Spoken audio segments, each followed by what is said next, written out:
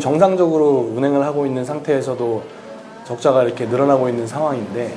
그 야간 운행을 통해서 어떤 그런 경제성을 회복한다든지 뭐 그런 거는 어렵다고 보고요. 포퓰리즘도 어느 정도 대중이 좀 혜택을 입어야 포퓰리즘이라고 얘기를 하는 건데 극히 일부분의 그 야간 통행자를 위해서 지하철을 4시간 동안 연장 운행을 한다는 거는